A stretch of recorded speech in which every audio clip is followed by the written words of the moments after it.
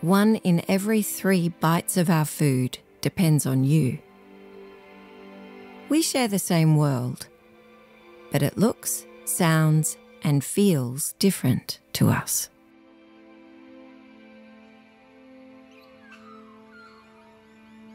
When you're flying quickly, looking for flowers, the rapid motion means that it's hard for you to process colour information. At high speeds, you only see in black and white. Thankfully, the flowers want to catch your attention and have developed a perfume to excite you. The aroma slows you in your tracks and the world blooms into colour. Your perception of scent is unique. Scent can trigger memories for colours that have been rewarding for you in the past.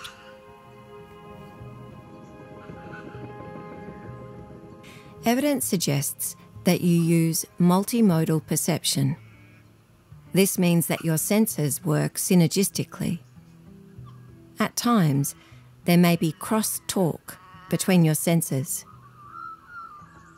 One could say that you are smelling yellow, and at other times, you are smelling blue.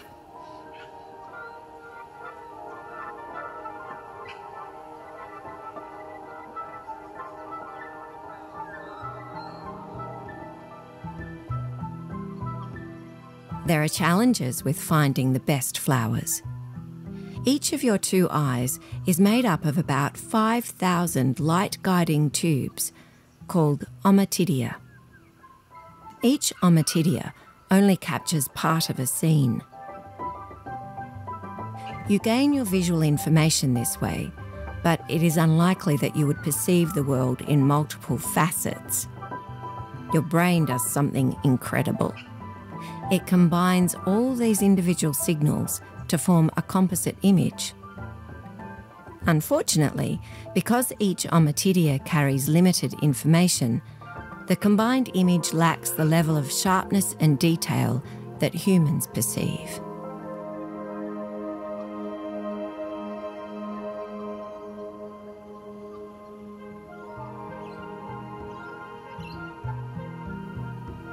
Any object that is not extremely close to you is blurry. This is a bit like how humans see things when they are underwater. Your extreme nearsightedness poses challenges for you when you're foraging for flowers in a complex environment.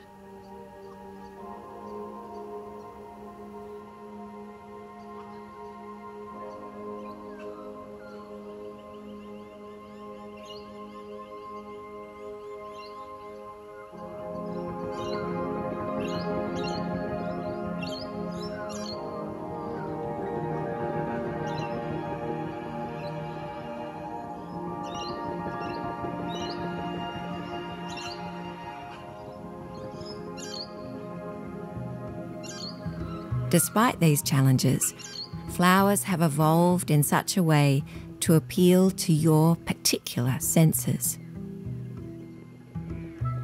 Others may find flowers beautiful, but actually, the strongest flower signals are only truly appreciated by creatures like yourself who possess the ability to see a combination of blue light, green light, and ultraviolet light.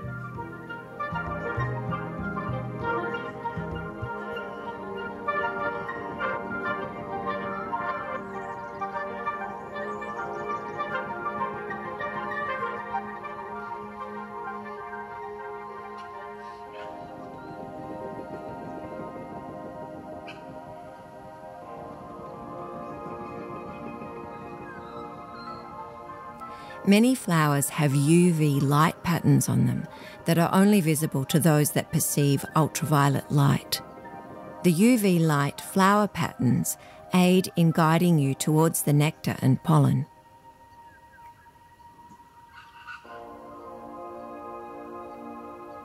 Ultraviolet light makes up about 10% of the electromagnetic radiation of the sun. However, it is beyond the human animal's range of natural perception. There are other ways in which flowers appeal to your senses.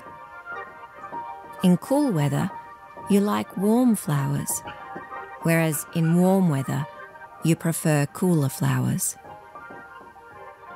Flowers can modulate their temperature, warming themselves up and cooling themselves down.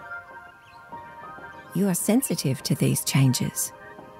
Because of your preferences for flowers at certain temperatures, entire systems may change due to variations in climate. Human scientists do not know how climate change will affect all of this, but this is a current area of research.